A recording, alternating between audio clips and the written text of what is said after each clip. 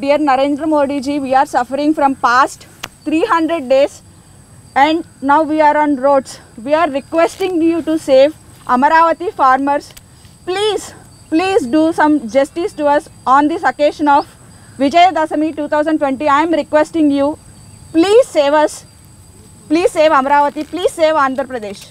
Jai Amaravati. Jai Amaravati. Jai Jai Amaravati! Jai Amaravati! Dear Modi ji, you know what happening in Andhra Pradesh? People are on roads, women and kids are also on roads. You want to support Amaravati, this is your responsibility.